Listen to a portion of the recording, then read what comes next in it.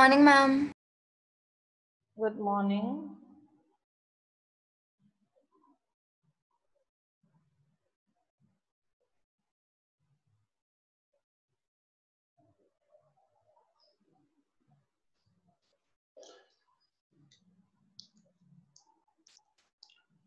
So we were doing one numerical in that we found out the mole fraction first. Mole fraction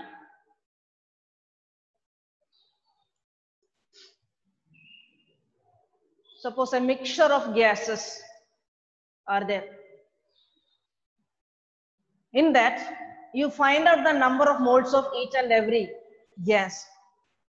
And you find out the fraction of one gas in that. That is called mole fraction. Fraction of moles in that gas. In the gas, gas mixture.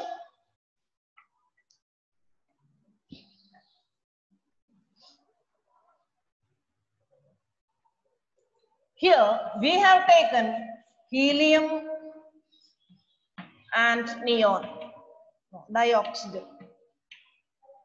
Neon and dioxygen. So this is a mixture. What are the moles of neon? We have calculated.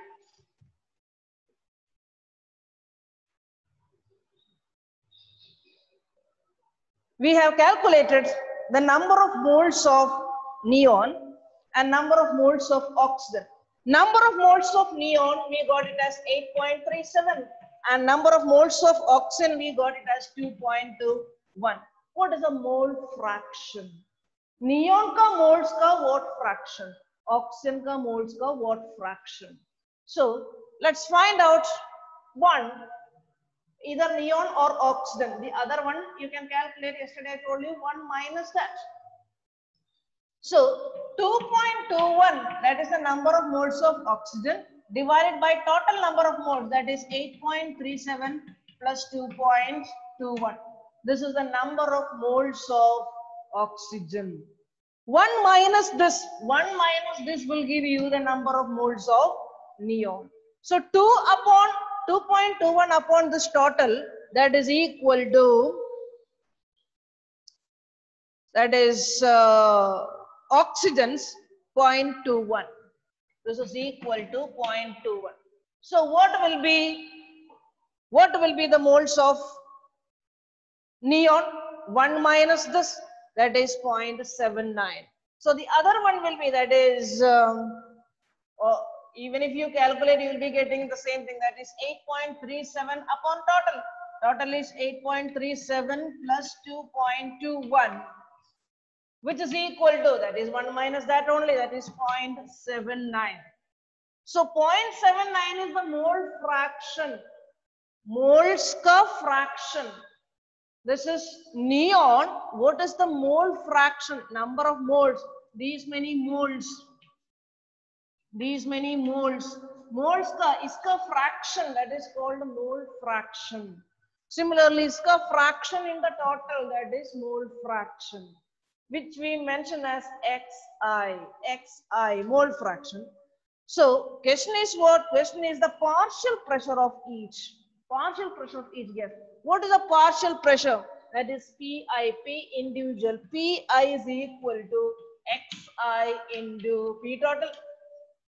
Pi that is P oxygen that is PO2 xi. What is xi? That is 0.21 into P total what is the P total given? P total given is 25 bar. So partial pressure of oxygen is 0.21 into 25. 25. So you will be getting it as 5.25 bar. This is 25 bar. So 5.25, 5.25 bar. Total pressure is what? 25. From that 25, if you subtract this thing, then you will be getting the pressure of the other fellow. What is the other fellow? Oxygen's pressure is, according to Dalton's law of partial pressure, the total pressure will be the sum of the partial pressures, sum of the individual, individual, individual pressures. So here, we have found out the partial pressure or individual pressure of oxygen that is 5.25. Total is 25, that is given in the numerical. So 25 minus this 5 points 25. That is what? 19.75. So partial pressure of neon will be 19.75. That is 25 minus uh, 5.25. That is um, 5, then 7, 9, 19.75 is the partial, that, that much bar is the pressure of, partial pressure of, uh, partial pressure of neon. Next, we are going to the next topic that is uh,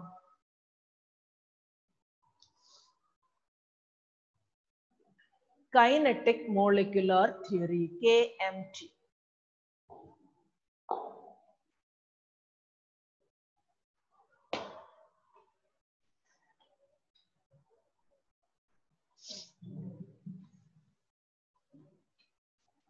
Kinetic molecular theory, some postulates are there. You write the postulates first. Number one, gases consist of, gases consist of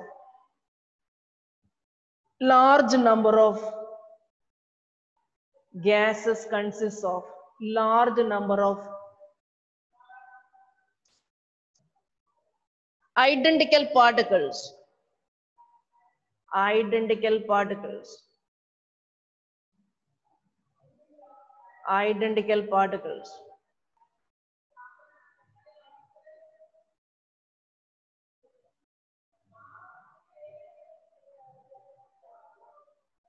Identical particles.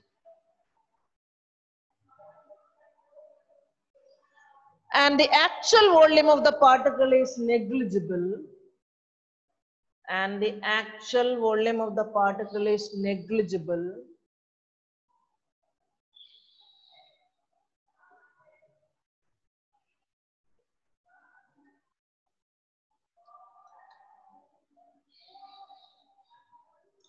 as compared to the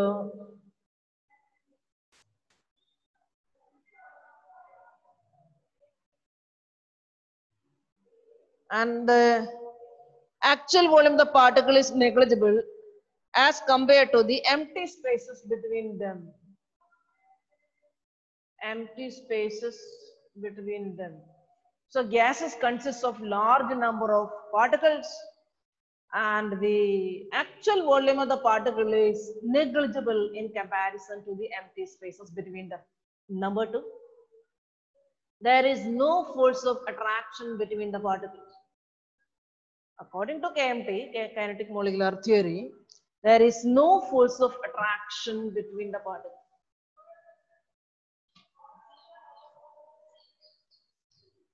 ऐसा हो नहीं सकते because uh, there is van der Waals force existing. But according to KMT, there is no force of attraction between the particles at ordinary T and P, at ordinary T temperature and pressure, at ordinary T and P. Number three, particles of a gas are in constant random motion.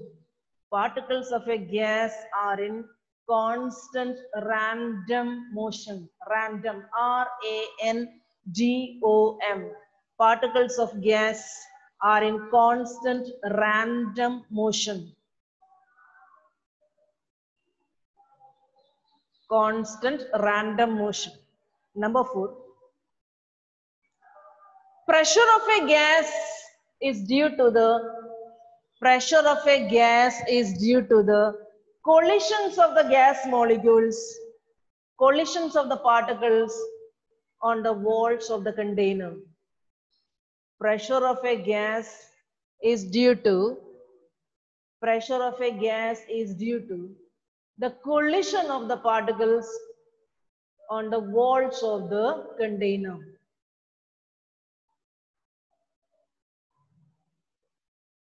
Number five, number five, collisions are perfectly elastic. Collisions are perfectly elastic. इसका मतलब है total energy before collision is equal to uh, total energy after collision. Individual energies of the particles may change, but the total energy remains the same. That is what is meant by collision of the uh, collision of the particles. Collisions are perfectly elastic. Number six. Uh, though the individual speeds may change, though the individual speeds, velocity, though the individual speeds may change, the distribution of the speeds in a gas remains the same. The distribution of the speeds remains constant. Distribution of the speeds remains same. Like distribution means some are having very high kinetic energy, some are having very low kinetic energy, maximum are having average kinetic energy. This is the distribution. You take any any system. Some molecules are very having very high kinetic energy. Some molecules are having very low kinetic energy. Most of them are uh, having average kinetic energy. You take one class in a class, for example, 9th or 11th. Some are very good in studies. Some are very poor in studies.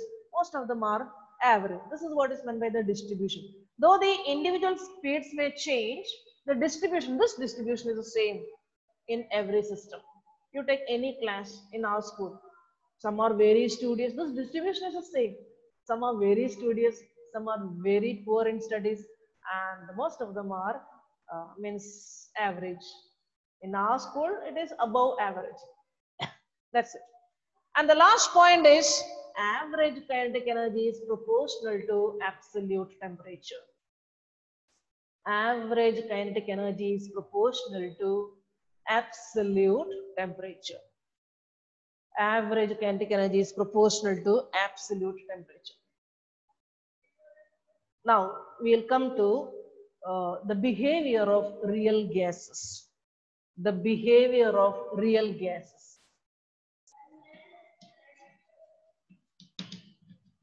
Behavior of real gases. We know what is an ideal gas. Ideal gas is a gas which obeys Boyle's law, Charles' law, and Avogadro's law. But we say no gas is ideal. We are seeing what real gases. We are seeing real gases. Then why are they deviating from ideal behavior? Because two reasons. Because of two reasons. They have attraction between them. Particles, gas molecules. Particles have got attraction between them. According to kinetic molecular theory that is given for ideal gas, there is no force of attraction between the particles. But we know that there is van der Waals force of attraction between the particles. So, according to kinetic molecular theory, ideal gases having no force of attraction between them. But real gases, the, uh, the there is force of attraction between the particles. Can we prove that there is force of attraction between the particles? Yes. If you press the gas, if you press the gas, if you press the gas, the particles come closer to each other. And at the liquefaction stage, they are attracting. We know in liquids, the particles are attracting more as compared to the gas, gaseous state. That means there is force of attraction between the particles, especially liquefaction time. In a liquid, there is more force of attraction. The gas is getting liquefied means that is little force of attraction between the particles. So real gases do not follow these postulates. Why? Because there is force of attraction. Or real gases do not obey PV is equal to nRT, that is ideal gas equation. Another reason, volume. First postulates of kinetic theory says that the volume is negligible. Volume of the individual particle is ne negligible as compared to the empty spaces between them. Volume, the real meaning of volume of a gas means the available space to travel. If you take gas in a cylinder, we say volume of the gas is what? Available space, available space to travel. But when we take a gas in a cylinder, the molecules itself, molecule itself occupies some amount of volume. So gas molecule cannot utilize that volume which is occupied by the molecule. So volume of the gas, volume of the particle is negligible that we cannot see. Suppose you put all the molecules to one side. then a little bit volume they are occupying. So the gas molecules cannot utilize that volume where the gas, where uh, the where that species occupy that space. Suppose I take a gas cylinder.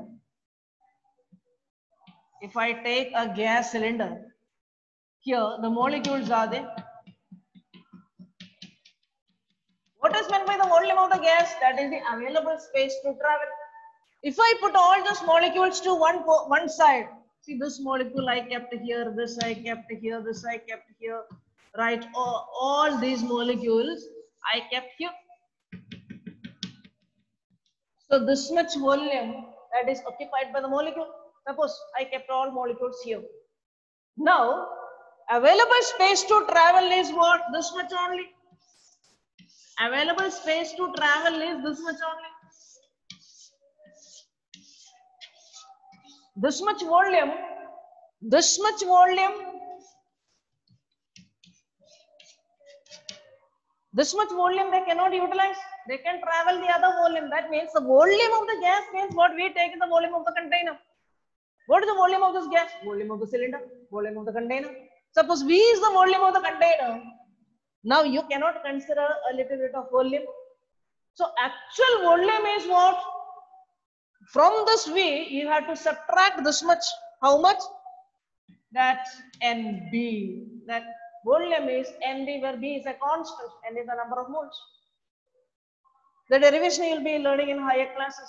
So volume of the gas means this is the volume what we are measuring, but that much volume the gas molecules cannot travel. Available volume for the traveling is what? V minus something. What is that something? That is NB. So from in that PV is equal to nRT instead of V, we will be writing V minus NB. Now what about the pressure? Equation for ideal gas is PV is equal to nRT. So instead of V, we will be writing V minus NB, that is the available volume. What about the pressure? When the gas is there inside the cylinder, you can measure the pressure by using a pressure gauge, a manometer. So the gas is there in the cylinder.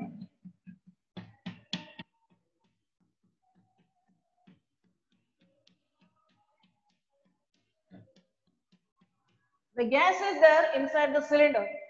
Using a pressure gauge means a manometer, you can uh, find the pressure just like the pressure of the gas you are taking in your uh, fuel tank, scooter ka fuel tank or car ka petrol tank. How much fuel is there?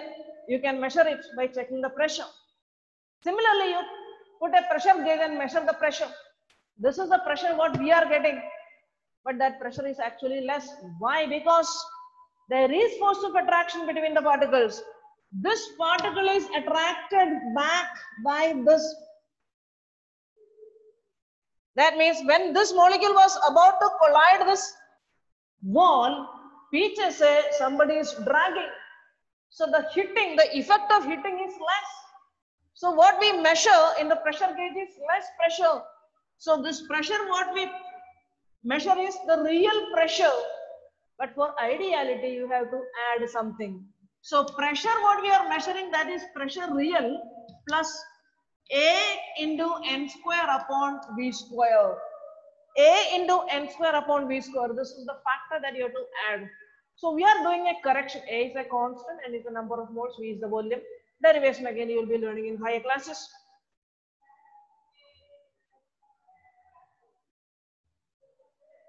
So what happens here? The pressure, real pressure what we measure is not the actual pressure because there is force of attraction. Piche wala, aage wala ko, the one who is going to hit the container, wall of the container, वो उसका पीछे वाला will be dragging that that means by this dragging that the first molecule cannot hit this wall with much effectiveness so the measure measured pressure will be less the real pressure is less so for ideality, you have to add some factor. What is that factor? A n square upon v square. So we are modifying this equation PV is equal to nRT that is P real plus a n square upon v square into V minus NB is equal to nRT.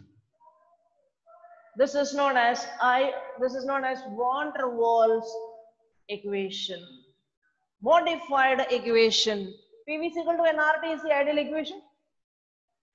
This is a modified equation that is P real plus AN square upon V square into V square into V minus NV. So is equal to nRT. So we made correction for pressure, we made correction for volume because of the two wrong postulates in kinetic molecular theory. According to that, there is no force of attraction between the particle, but we know that in real gases, there is force of attraction between the particle. The molecule which is, which is going to hit the wall of the container, that is what is pressure. That is dragged back by the inner molecule due to the force of attraction. So the first molecule cannot hit the wall of the container. So the pressure measured will be less. So you are adding something. How much we are adding? A n square upon V square. Volume. What is meant by volume of the gas? Available space for traveling movement. Available space for the movement. Okay. So these are the corrections what we are doing for this uh, ideal gas equation. If you plot a graph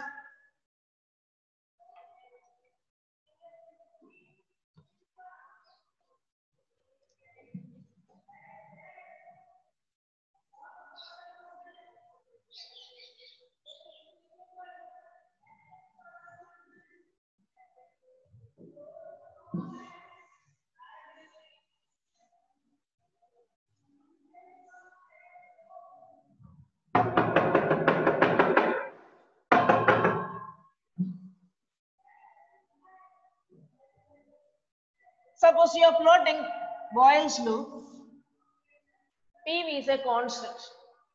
Even if you, even if you keep on changing P, PV is a constant for ideal gas. So PV is a constant for ideal gas means, suppose um, you are marking PV here. P is increased in this way. So PV 0 0.2, 0 0.4, 0.6, 0.8, 1. Or in 1.2, 1.4, 1.6 like this. Either you mark PV or you mark PV upon an RT. PV or PV upon an RT. PV upon nRT is equal to 1. PV is equal to nRT. So PV upon nRT is equal to 1. Even if you change the P, PV upon nRT is equal to 1. So even if you change ideal for ideal gas, it is a straight line parallel to the P. But what about the real gas? This is for ideal gas. What about for the real gas? Real gases you are getting different, different hydrogen, helium, then what? Carbon dioxide, then what? Methane like this. Real gases are deviating from deviating from ideal behavior. So here for these two gases pv upon nrt is greater than 1 if pv upon nrt is greater than 1 such gases are uh, difficult to be compressed. If pv is equal to nrt that is is equal to 1 then it is ideal gas if it is not equal to 1, it may be greater than 1, it may be less than 1. If it is greater than 1, such gases cannot be compressed. If it is less than 1, here at lower pressure, it is less than 1. At a higher pressure, it is greater than 1. If it is less than 1, then such gases cannot be compressed easily. So we call that PV is equal to nRT as the compressibility factor. PV upon nRT is called Z, which is called compressibility factor. So if it is greater than one, one, then such gases cannot be compressed easily, very difficult to be compressed. If it is less than one, such gases can be compressed easily. Now, PV upon nRT is called that uh, compressibility factor. This compressibility factor is also given by V real upon V ideal. V real, V real upon V ideal. V real upon V ideal. A gas obeys ideality or ideal gas equation at high temperature and low pressure. At high temperature and low pressure, only the gas remains as a uh, ideal gas. A gas remains as a gas. If the pressure is increased and the temperature is lower, that means cooled, the gas changes to liquid. So gas is not behaving as an ideal gas. So gas obeys ideal gas equation or ideality only at a real gas obeys. A real gas obeys ideal gas equation only at high temperature and low pressure. You know that high, at high temperature, it will be in the gaseous state. At low pressure, it will be in the gaseous state. At high pressure, the molecules are coming closer to each other. At low temperature, uh, they are cooled, gas is cooled, and their kinetic energy, uh, average kinetic energy is proportional to absolute temperature. When the temperature is lowered, kinetic energy is lowered, and they are coming close to each other. So the gas is going to change into a liquid, liquefaction. So Z, that is PV upon nRT, is called compressibility factor. So this chapter finishes here. Liquefaction of gas and uh, liquid state that you will be studying. These things uh, are cut from the syllabus and that is included in uh, next year, the liquefaction, that vapor pressure and all of liquid state. So with that, we finish this chapter.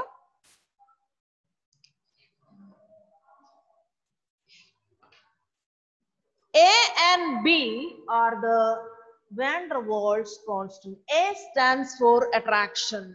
Where is that A? That is van der Waals equation, what we had written, P real plus A n square upon V square into V minus NB. V minus NB is equal to nRT. A and B are called van der Waals constants or parameters, van der Waals parameters. A stands for attraction and B stands for volume. So two things, by these two factors, real gases are deviating from ideal gas equation. A and B, those constants, these constants or we can say van der Waals constant or van der Waals parameters a stands for attraction. A stands for attraction. You match it with AA and B stands for volume correction. Volume correction. That B, van der constant, B stands for volume correction.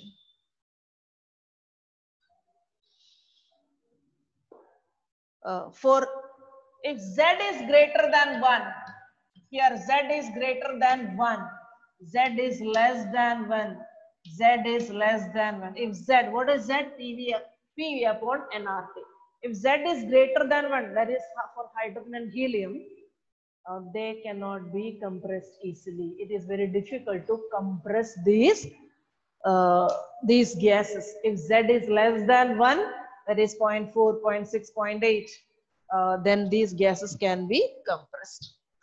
Okay, next chapter that is thermodynamics will be starting in the next class. Thank you.